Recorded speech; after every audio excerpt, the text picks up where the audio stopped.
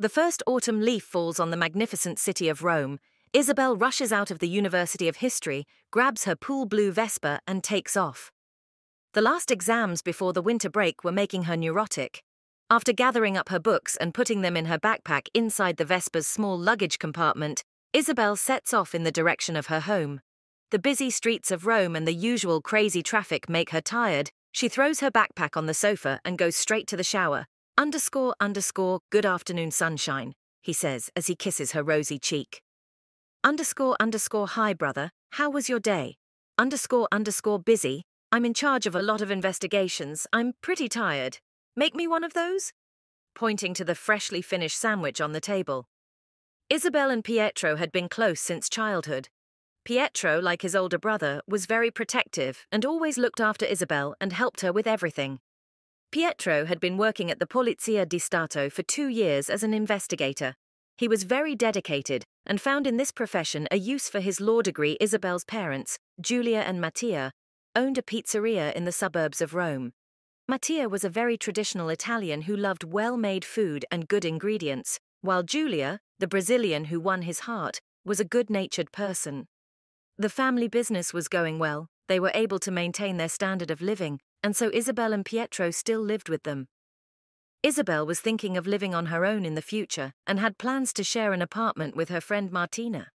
Pietro wouldn't leave his parents' house until he was married, but that wasn't in his plans. He wanted to grow in his position in Polizia and only then think about building a family.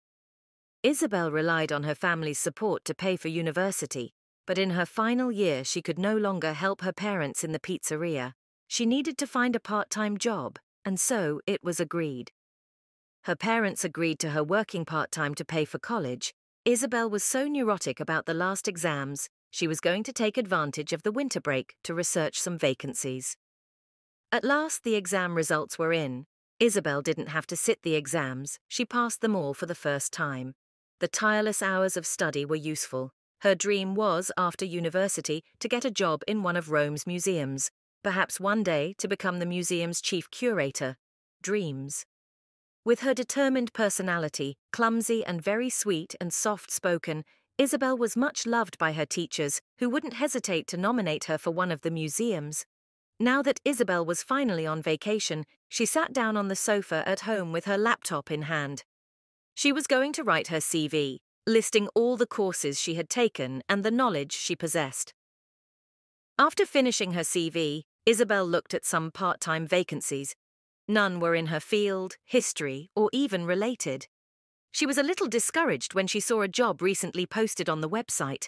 It wasn't in her area, in fact, it was quite far away, but the hours were ideal and the pay was very good, even too good, which left her, as her mother used to say, with a flea behind her ear. Isabel always laughed when her mother said that.